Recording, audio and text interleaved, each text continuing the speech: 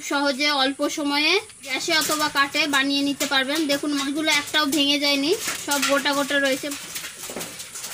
খুব সহজেই একদম অল্প মশলায় এই পাতুরিটা করা যায়। এখানে কাঁচা মাছ নিয়ে নিয়ে চুনো মাছ, এগুলো সব রকম মেশানো মাছ রয়েছে। এটা পাতুরি হবে। এবার প্রথমে দিয়ে দিল পেঁয়াজ বাটা, কাঁচা লঙ্কা বাটা,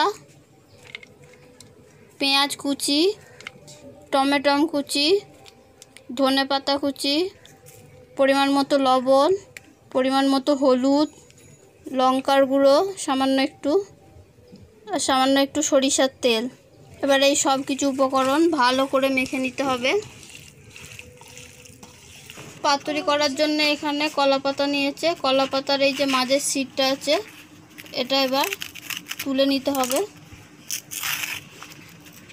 এবার কলা পাতাটা গ্যাসের উপরে আগুনের মধ্যে দিয়ে হালকা কলা পাতাটা সেঁকে নিতে হবে।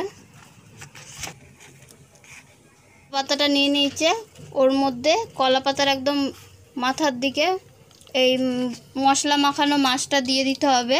মশলা মাখানো মাছটা দিয়ে এইভাবে কলা পাতাটা মুড়িয়ে নিতে হবে। একটা পুরো গোটা কলা পাতা দিতে হবে।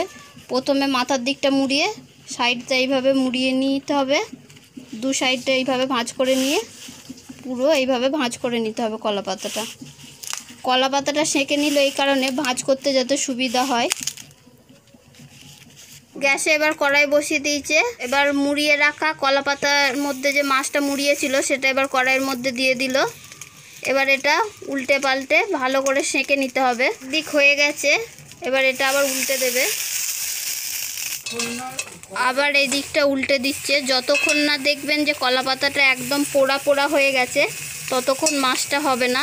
এপিট ওপিট উল্টে ভালো করে সেঁকে নিতে হবে। পাতুরিটা অনেকটাই হয়ে এসছে। দেখুন, পাতাটা কি সুন্দর, একটু পোড়া পোড়া মতো হয়ে গেছে।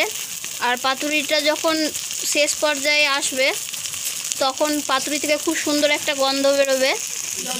দেখুন পাতুরিটা অনেকটা হয়ে গেছে। পাতুরিটা যখন হয়ে আসবে, তখন পাতাটা অনেকটা ফুলে যাবে। মাছটা কুক হয়ে যাবে যখন, পাতাটাও এরকম ফুলে যাবে। একদম লো আছে। পাতুরিটা করতে হবে। পাতুরিটা রেডি হয়ে গেছে। এবার এটা নাবিয়ে নেবে। নাবিয়ে আপনাদের সার্ভ করে দেখাচ্ছি। পাতুরিটা ঠান্ডা হয়ে গেছে। এবার পাতুরিটা খুলে দেখাচ্ছে। দেখুন কত সুন্দর হয়েছে। দেখেই বুঝতে পারছে আর খোলার সঙ্গে সঙ্গে খুব সুন্দর একটা সেন্ট বেরোচ্ছে। আমাদের এই কাঁচা মাছের পাতুরি অথবা চুনো মাছের পাতুরিটা ভালো লাগলে লাইক শেয়ার কমেন্ট এবং সাবস্ক্রাইব করে দেবেন।